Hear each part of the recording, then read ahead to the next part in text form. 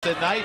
Karl Smesko on the other side, already closing in on 600 wins with FGCU.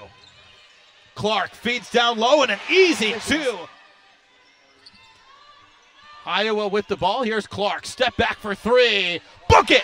Caitlin Clark. Just Clark. has two hands on her. Great back door there Team by the country Kate. holding a four-point lead against one of the best mid-major programs in the country. But Clark, nice arena to work this women's game. Busy day of basketball. Sphere box three is good. Iowa. that Clark would be just one for four from three in this quarter as Clark fades and hits. Take it Make it. hotel. I mean, we are watching as Clark slips inside and banks it in.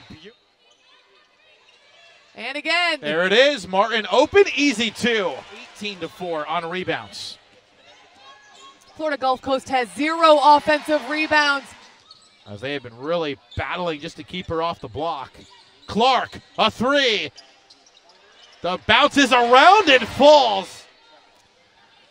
Clark goes to work.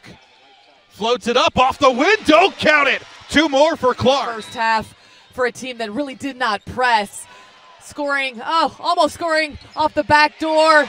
Inside. a little Kate bit. Clark circles around on Jimenez. Not a lot of space. Gives it up to Marshall for three. And she's got it. Gap. There is Feuerbach.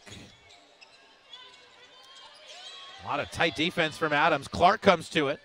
Caitlin Clark looking for three more. Book it. Great Caitlin Flow Hoops. All Iowa tonight.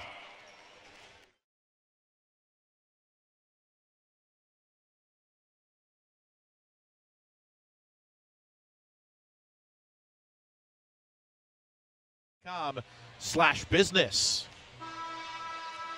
Look at that nice give and go. Caitlin Clark is so known for how she finishes at the three point line, but we're seeing her at the rim.